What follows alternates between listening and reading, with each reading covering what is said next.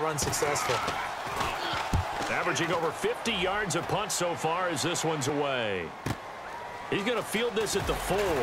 He can't bring him down. The weight room does work.